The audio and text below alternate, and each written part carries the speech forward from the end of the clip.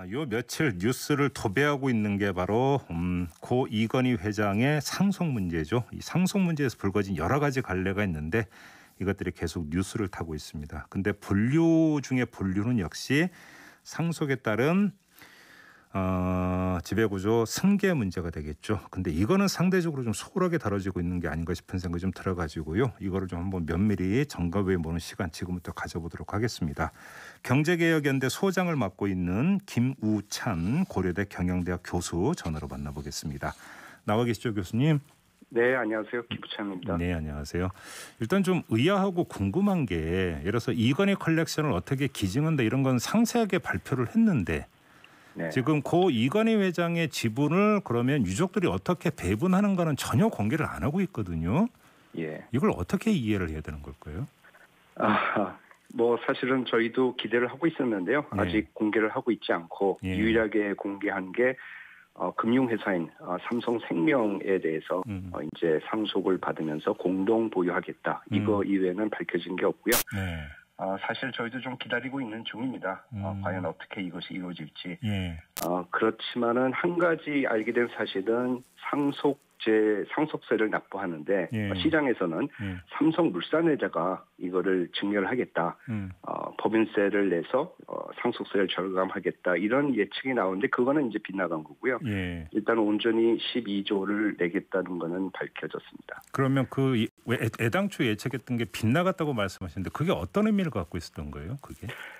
어, 이 상속세가 워낙 많으니까 예. 12조 원이나 되니까 예. 어, 이 이건희 회장으로부터 받는 상속 주식 그 중에서 이제 삼성전자 주식이죠. 이게 굉장히 큰 건데 음. 어 이거를 그 가족들이 상속받는 것이 아니고 물산이 오히려 그것을 증여받아서 아, 어, 증여받게 되면은 음, 음. 네 그렇죠. 예. 그러면 이제 가족들은 상속세를 안 내는 거죠. 아하, 그리고 아하. 물산이 법인세를 내는 거고요. 예. 어, 그런 예측도 있었는데 그것은 어, 빗나간 것 같고요. 음. 어 그렇지만은 나중에 가서 음. 나중에 가서 어, 이제 상속 재원을 마련을 해서 뭐 배당이나 뭐 SDS 주식이나 이런 걸로 음. 어, 조달을 할 텐데요. 결국 모자랄 겁니다. 결국 음. 모자랄 텐데 음.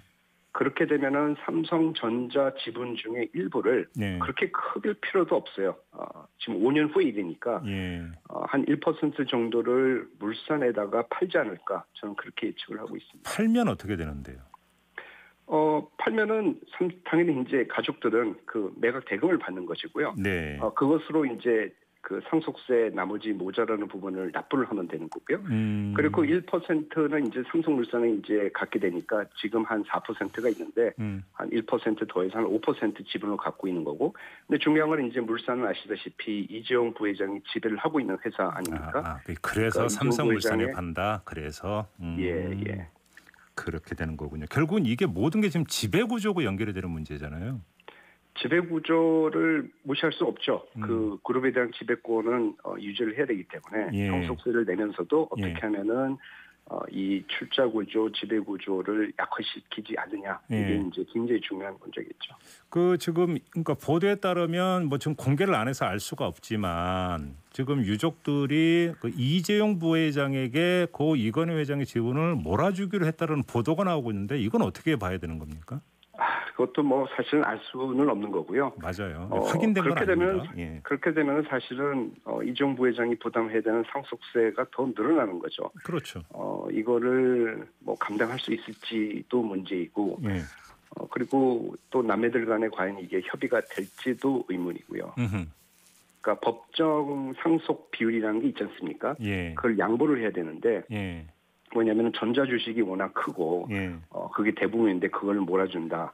이게 과연 협의가 될지도 잘 모르겠습니다. 어 그럼 그거는 뚜껑 열어봐야 되는 거지 지금 그 섣불리 그 지금 예측해서 뭐 추정 보도할 성질의 문제는 아니다 이런 말씀이시네요. 예 예. 그래요. 그다음에 하나 좀 여쭤볼게. 아무튼 이제 그 상속세를 쉽게 말해 할부로 이제 납부한다는 거 아니겠어요? 뭐 연부 연납 이런 표현에서 아무튼 네. 이제 나눠서 낸다라는 거잖아요. 예. 그거는 그 이전에도 사례는 여러 번 있었나요? 아 그럼요. 그 워낙 상속세율이 높다 보니까 네. 아, 그 동안에 이제 어, 총수 그 자녀들이 상속세를 낼때다 음. 이렇게 어, 분납을 했습니다. 5년에 걸쳐서. 자 그러면 이제 12조의 상속세를 내야 되는데 그래서 한 번에 2조씩 낸다 뭐 이런 거라고 하던데 근데 이제 그 그게 이제 그 돈이 모자랐는지 모르겠지만 그 제1금융권 두 곳에서 2천억씩 4천억을 지금 대출을 받았다라는 거잖아요. 네. 이건 어떻게 보세요, 교수님은? 그러니까 워낙 상속세 납부해야 될 금액이 크니까 네. 어, 이제 주식담보대출도 있는데 예. 그 이전에 신용대출도 해보자 이렇게 했던 것 같습니다. 그래서 네. 신용대출을 하고 그다음에 주식담보대출을 하고 음, 근데 이제 이건 대출이기 때문에 역시 갚아야 되잖아요. 그렇죠. 그러니까 어디엔가는 어, 진짜 재원이 나와야 되는데 예. 아까 말씀드린 대로 어, 세 가지 재원이 있습니다. 한 가지는 그 SDS 주식이 있어요. 음. 이 남매들이 갖고 있습니다. SDS 주식을. 네. 이게 지금 어, 종가로 따졌을 때 한 2.4조가 됩니다. 그리고 SDS는 어, 삼성그룹에 대한 지배권에 있어서 큰 의미가 없는 회사예요. 음, 음. 그래서 이거는 사실 팔아도 됩니다. 네. 이것을 팔면은 세후로 한 2조 원이 나오고요. 그리고 삼성전자 주식을 갖고 있기 때문에 또 음. 이건희 회장의 그 주식도 이제 물려받은 거기 때문에 여기서 5년 동안에 걸쳐서 받을 수 있는 배당금이 한 5조 원이 또 됩니다. 어유. 예. 그걸 이제 물론 세금을 내야 되겠죠. 그럼 네. 한 3조가 되고요. 음. 그래서 SDS 주식 매각한 거, 삼성전자에서 배당받은 거, 네. 3조 해서 5조가 되고요. 그럼 예. 7조가 모자르죠. 예. 이 7조는 나중에 예.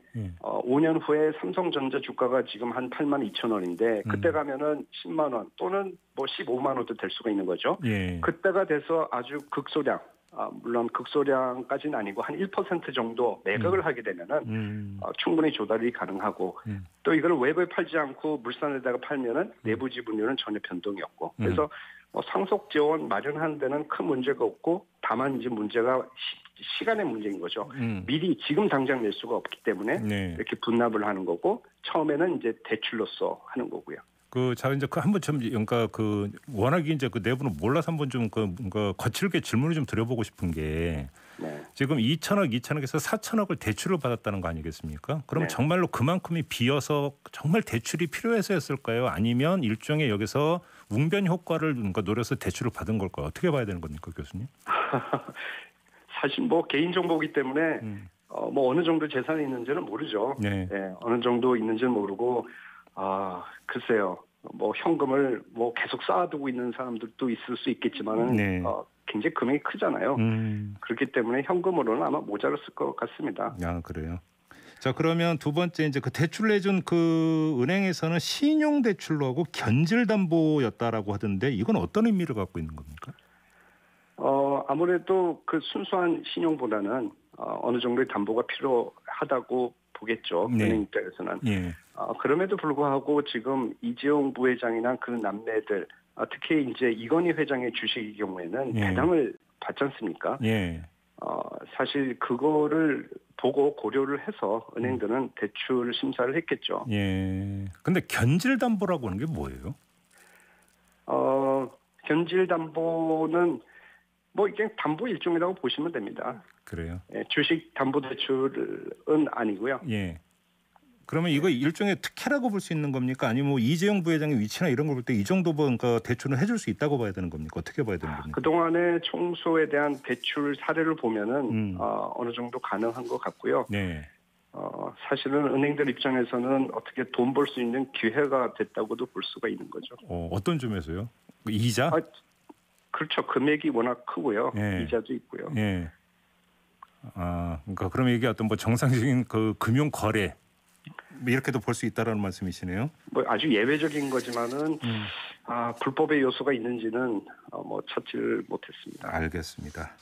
지금 뭐 연일 화제가 되고 있는 부분은 이건희 컬렉션 아니겠습니까? 네네. 이건희 컬렉션에서 뭐 여, 그러니까 그 전에 이제 그 발표가 나오기 전에 여러 가지 시나리오가 언론 보도를 탔지만 그게 아니라 그냥 전부 다 이제 뭐 그 기부한다 이런 건데 네. 이것이 예를 들어서 어떤 상속 과정에서 어떤 점이 고려가 돼서 이런 결정을 내렸다고 해석을 해야 될까요?